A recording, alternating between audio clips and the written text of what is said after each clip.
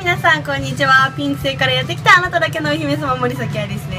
はい、ハーブ王子のとこです。はーい。よろしくお願いします。よろしくお願いします。今日はね、はい。外にはよく出て出てるじゃん、ロケとかで。めっちゃ出てます。てかで外にしかいない。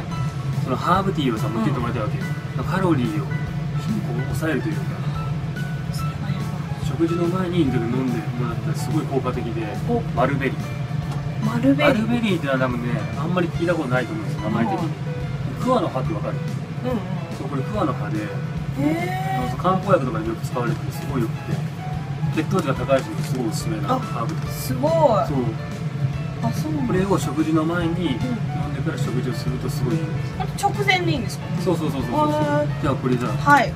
じゃあ今今日ね透明な。あ暑いの嫌って言うからさ。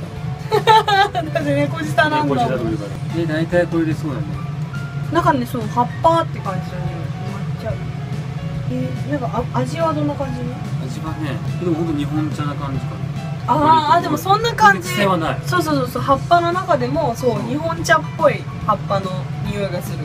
入れてが大体ね3分から俺の場合は3分から10分置いてる。んです3分？10分、うん。では置きたいと思います。はい。とりあえず。3分。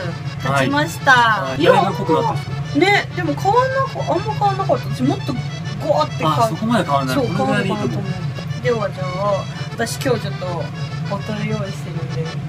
またヨガ。毎週木曜日ヨガなんです。え全部入れちゃっていいですかいいよいいよ。キャー落ちる。熱い。熱い？そんなに熱くない 熱かった。嘘やろ。ちょっと味がわかんない。